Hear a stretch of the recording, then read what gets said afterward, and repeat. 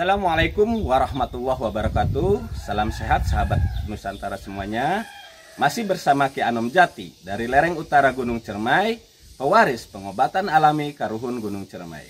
Kali ini Ki Anom Jati akan berbagi tips eh, Cara menangani eh, liver atau hepatitis. Yuk kita solawatan dulu.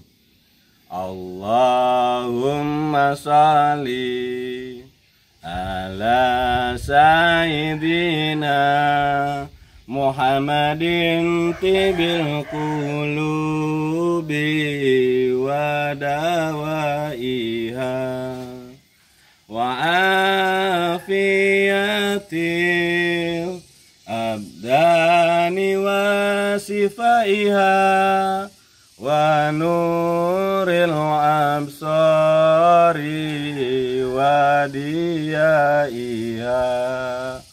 wa ala alihi wa sahbihi wa salim.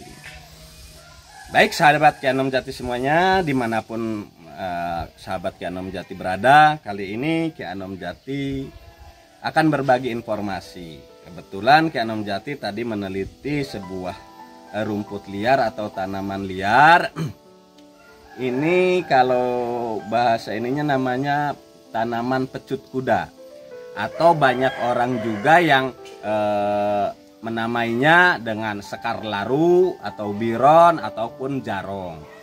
Nah, pecut kuda ini memiliki nama latin Verbena indica.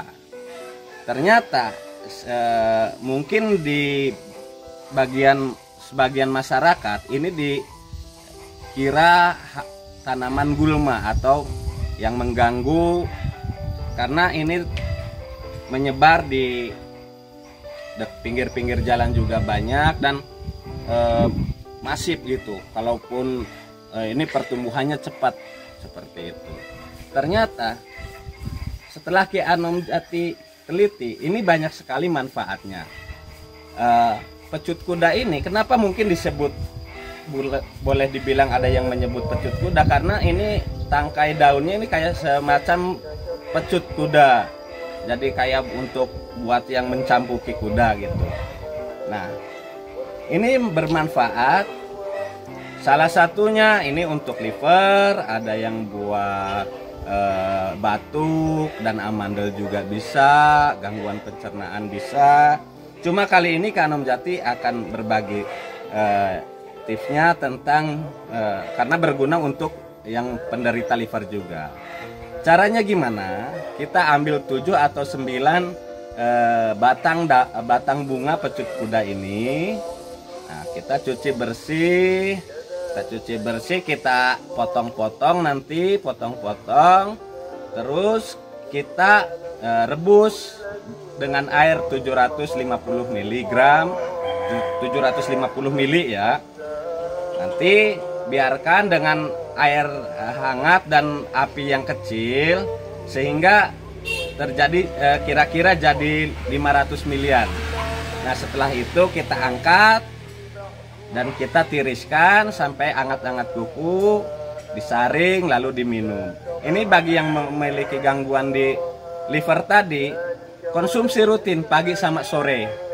Insya Allah bisa membantu eh, apa yang kita keluhkan tadi tadi penyakit liver. Kalaupun batuk kita ternyata kalaupun yang buat batuk ataupun amandel ini dari daunnya. Kebetulan kalau untuk liver kita ambil batangnya aja seperti itu. Mungkin itu yang bisa Ki Anom sharingkan. Semoga eh, apa yang Ki Anom sharingkan ini bermanfaat bagi sahabat Ki Anom semuanya. Dan Ki Anom juga menyediakan herbal lainnya yang sudah berbentuk kapsul. Jadi di Ki Anom udah tersedia untuk berbagai penyakit juga. Nah, dan bagi yang mau konsultasi ataupun mau terapi bisa datang langsung ke alamat Ki Anom yang tertera di bawah ini. Nah, bagi rekan yang sahabat Ki Anom semua yang belum like, subscribe, dan komen bisa tutup loncengnya dan tanda merahnya.